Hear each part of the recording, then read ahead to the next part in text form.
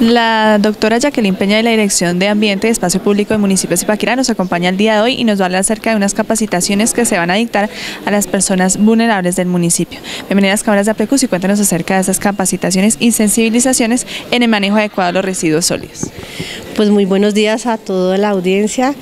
Pues sí, desde la Dirección de Ambiente y Espacio Público vamos a adelantar un proyecto de elaboración de cosas, elementos, a partir de los, de los residuos sólidos que se generan. Vamos a trabajar el tema del cartón, el, tema de los eh, metales y el tema del vidrio. ¿Por qué y por, y por qué y para qué? Porque los residuos sólidos sencillamente son una oportunidad para, se convierten, al transformarlos, al modificarlos, al hacer un producto nuevo a partir de ellos, se convierten en una oportunidad económica que puede surgir y de ahí puede surgir pues microempresas, ¿cierto? ¿Por qué lo dirigimos hacia, hacia los sectores vulnerables o población vulnerable? Porque son finalmente quienes eh, en el municipio tenemos muchas madres cabezas de hogar, gente que realmente necesita el apoyo en la capacitación para la elaboración. Claro, sale una, una oportunidad para que ellos puedan comercializar este material y a su vez nosotros vamos a tener un impacto, vamos a reducir los impactos eh, negativos sobre la disposición final de los residuos sólidos que se generan en el municipio, ¿sí?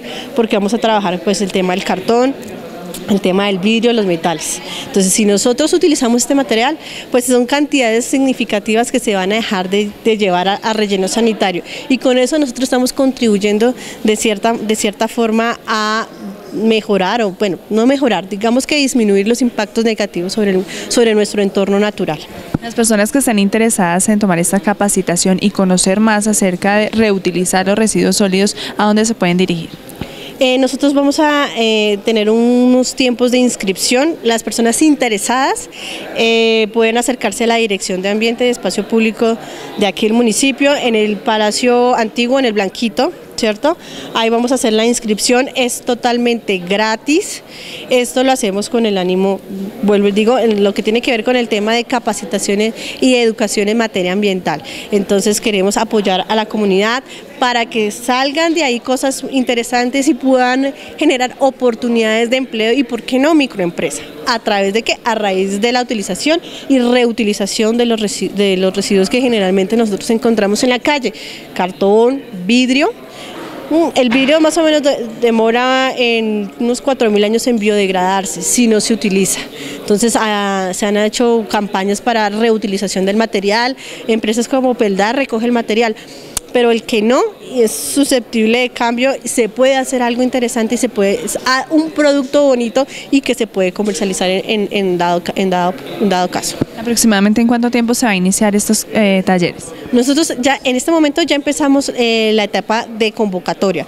Esto que queda, este tiempo que queda de mes de julio, estamos abriendo la convocatoria para que las personas interesadas vengan y se inscriban a la Dirección de Ambiente y Espacio Público o con la Fundación Arte y Ciencia, que son, los, son ellos quienes nos van a, orientar los talleres para la elaboración. Vamos a tener actividades, como esto es un tema lúdico, pedagógico, vamos a tener eh, temas de cuentería, todo lo que tiene que ver con la lúdica y la educación ambiental. ¿sí? Entonces, eh, digamos que la Fundación Arte y Ciencia son los, ellos son los, que nos van a apoyar en el tema de la capacitación. Entonces, con ellos también se pueden, se pueden inscribir o a través de, de, la, de la dirección. ¿En dónde se van a dictar estos talleres? Eh, estos talleres son discrecionales de la, de la Fundación Arte y Ciencia, eso se los diremos en el momento de la inscripción. Pero por ahora lo más importante es que si están interesados, vengan y se inscriban, no dejen pasar la oportunidad, esto es algo, un trabajo muy bonito y que realmente ustedes se van a dar cuenta que eh, va a ser un producto bien bonito y que se puede vender y comercializar como cualquier producto que sale con unas materias primas vírgenes, o sea, es un, van a ser productos que son buenos y competitivos en el mercado. Cristina Arevalo de la Fundación Arte y Ciencia está con nosotros también el día de hoy en Precus y nos va a hablar acerca del cronograma de estas capacitaciones y talleres que se van a dictar eh, desde el mes de agosto. Buenos días para todos los televidentes de APRECUS. Eh, mi nombre es María Cristina de la Fundación Arte y Ciencia. Ya mucha gente de las comunidades ipaquireñas me conocen. Hoy les voy a contar cómo vamos a iniciar los talleres. Ahorita comienza la etapa de inscripción, sensibilización y dar a conocer los materiales para que ellos, eh, los grupos sean productivos y tengan una entrada económica a través de estos, de lo que les vamos a mostrar hoy. Eh, el segundo mes en agosto vamos a comenzar los talleres. Estos talleres van dirigidos mmm, más que a, a, personas del centro, a las comunidades más vulnerables como Bolívar 83, Primero de Mayo, San Juanito.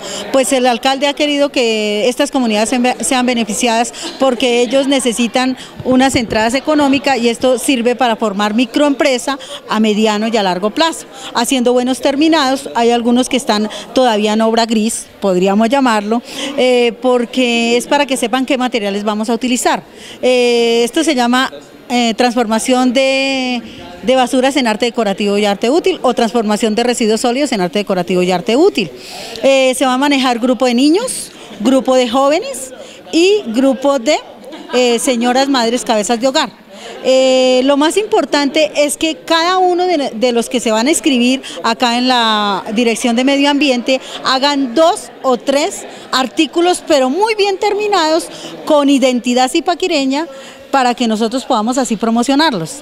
Eh, me gustaría que ustedes hicieran una toma.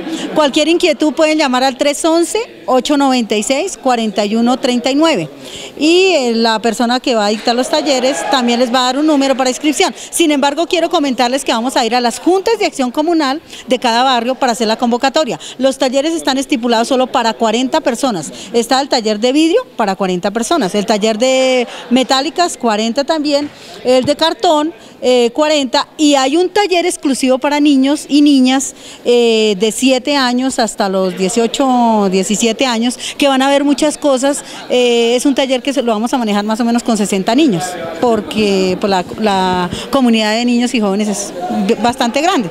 Eh, ahora invito a Oscar Bejarano que es el que maneja la técnica y les va a explicar que, cómo vamos a hacer los talleres. Es muy importante aclararle a todas las personas que se van a inscribir que vamos a hacer una exposición final para que ellos puedan promocionar y comercializar todos estos productos y a ver qué empresa privada nos puede apoyar, aparte de la Alcaldía Municipal de Zipaquirá, en cabeza del alcalde Marco Tulio.